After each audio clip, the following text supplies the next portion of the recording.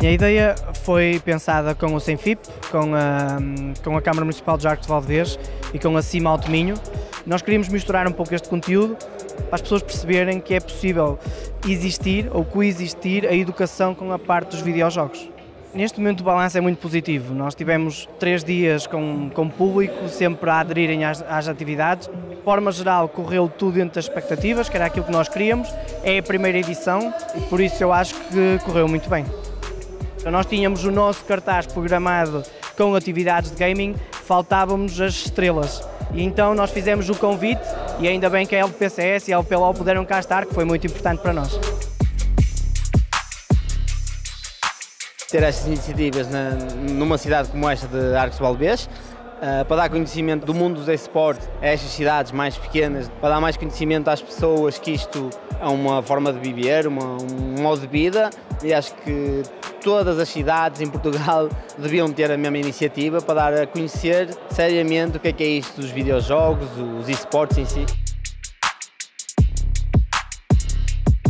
Experiência dos chametes foi incrível. Conseguimos arranjar um, um, juntar os dois mundos, o League of Legends com o CS, metemos comentadores de LoL, metemos o público a, a meio do, do cast a fazer de casters, pessoas que não percebiam nada do CS e muito menos do mapa que nem nós percebíamos.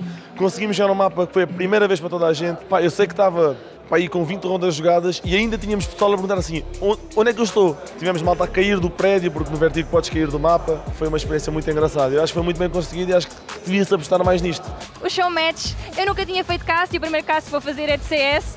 Foi uma experiência muito enriquecedora, provavelmente para mim e não para os outros, porque se eu estava a pensar aqui uma carreira em CSGO, acho que não tenho, destruía completamente no primeiro minuto, mas foi muito divertido em conjunto com o Bom Nuker, ele lá me deu ali assim uns, uns toquezinhos, ajudou-me ali um bocadinho, foi um ambiente muito divertido, acho que é para repetir.